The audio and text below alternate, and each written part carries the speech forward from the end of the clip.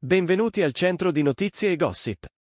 Prima di entrare nelle novità del giorno, un mi piace e la vostra iscrizione al canale sono per noi segni immensi di apprezzamento. Grazie di cuore. La storia di Lorin Nieve, una donna olandese di 28 anni, ha toccato il cuore di molti in tutto il mondo.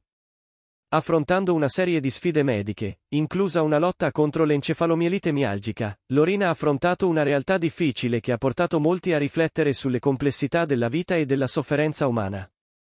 Da qualche tempo Lorin aveva iniziato a condividere il suo percorso di vita sui social media, ma è stato nel 2022 che ha preso la decisione di aprire completamente la sua vita al mondo.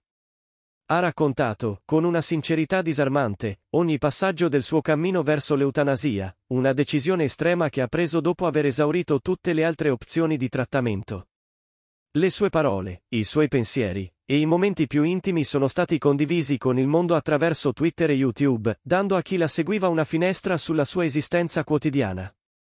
Diagnosticata nel 2019, l'encefalomielite mialgica ha portato Lorina a sperimentare un'estrema fatica sia fisica che mentale, una condizione esasperante che non le dava tregua neanche nel sonno. Oltre a questo, ha dovuto affrontare altre difficoltà di salute, tra cui l'autismo, l'ansia e una forma di iperattività che influiva sul suo comportamento. Lorin, vivendo nei Paesi Bassi, dove l'eutanasia è una pratica legale dal 2002, ha fatto la scelta di avvalersi di questa opzione dopo aver considerato a lungo e con grande sofferenza le sue possibilità. La sua storia ha sollevato questioni importanti e spesso difficili sulle malattie croniche, sulle scelte di fine vita e sul diritto delle persone di decidere del proprio destino quando la sofferenza diventa insostenibile.